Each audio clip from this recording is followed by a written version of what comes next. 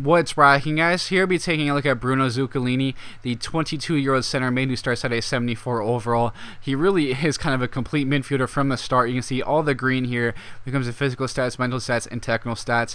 Play information real quickly: six foot center mid slash right mid, right foot with medium medium work rates, three star weak foot, and two star skill moves. So uh, he can play some right mid. Uh, he'd be very uh, kind of a two-way midfielder. Will really help a lot on uh, defensively. You know, with that marking, like most likely as well as the tackling you know that is useful because it seems like the uh, wingers do defend a lot more in this game this year. Being up to an 83 overall uh, in year 22, tw year 2020, excuse me, and the growth was tremendous physically. Uh, improved a lot in his strength was a bit, which was a bit low, as well as stamina is up there. A lot of dark green physically. He's pacey, agile, has great mental stats. Ball control, dribbling are up there, as well as some great passing, marking, and tackling stats. That is just a complete midfielder, uh, being only 83 overall in year 2020. Uh, just basically uh, five years after the start of uh, the the game. Excuse me, I don't know what I'm trying to say, but uh, you can see either way, uh, you could play very well in the attack. You know, run at the defense as you can see here. Uh, just use some of that dribbling. Now takes a long shots, forces a good save. and you saw in that first highlight, he kind of stayed a bit out wide, cut back in, use some of that that ability uh, physically to create a chance for himself as well. You see that long shot is pretty solid.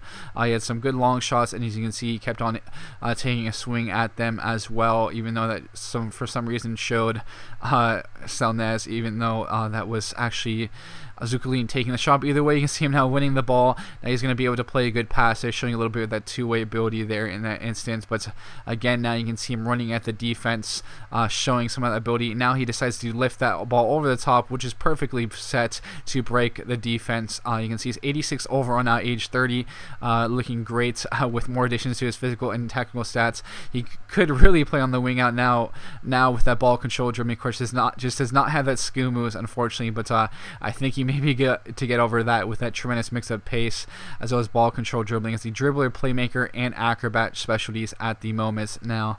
So there's certainly some great stats, and of course passing stands out as well. But he would continue to grow after this, as you will continue to see uh, here in this uh, these next two highlights. You'll see where he ends up uh, at at year 2025, basically, as well as uh, at the age of 33 because he would actually continue to grow into that point, which was tremendous to see one of the first times I've actually seen that. His players generally, for me, seem to just lose like all their stats uh, once they hit like 30 or so. But so you can see 87 overall now, age 31, um, great stats. Mental stats went up quite a bit as well as ball control, dribbling again, uh, passing, um, looking great as well. But you see 80 overall now in age 33 is what he would cap out as. Some tremendous work from him, more additions to some of those uh, key stats, and he just really is a complete midfielder.